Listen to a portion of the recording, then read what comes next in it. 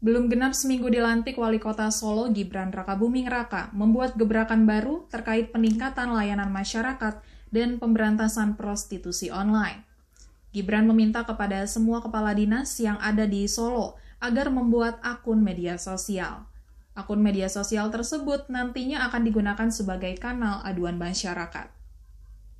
Dikutip Tribun Solo dari kompas.com, Gibran ingin aduan dari masyarakat bisa segera ditangani dengan cepat tanpa harus menunggu seperti sebelumnya, sesuai juga dengan instruksi dari Gubernur Jawa Tengah Ganjar Pranowo. Sebelumnya sudah diterapkan kanal aduan khusus bernama Unit Layanan Aduan Surakarta atau ULAS, namun Gibran menganggap kanal tersebut kurang efektif.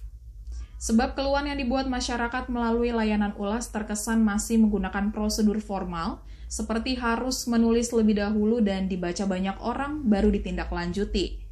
Gibran ingin memastikan bahwa setiap keluhan yang disampaikan masyarakat melalui media sosial akan langsung ditangani. Gibran pun memberikan contoh belum lama ini ada masyarakat yang mengeluhkan jalan berlubang sehingga menjadi tempat genangan air. Dengan adanya laporan tersebut di media sosial, pihaknya langsung turun tangan untuk melakukan perbaikan jalan.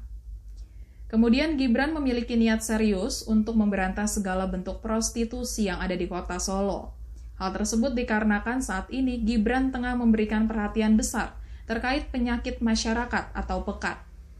Putra sulung Presiden Joko Widodo ini pun menyebut prostitusi yang dilakukan secara online seperti di micet dan Twitter dalam pantauannya. Gibran mengaku banyak menerima masukan setelah dirinya melakukan operasi pekat bersama Kapolres Solo Kombes Pol Ade Safri Simanjuntak di sejumlah lokasi di kota Solo pada Sabtu malam 27 Februari 2021 lalu. Ia juga telah melakukan razia sejumlah PSK yang ada di Solo.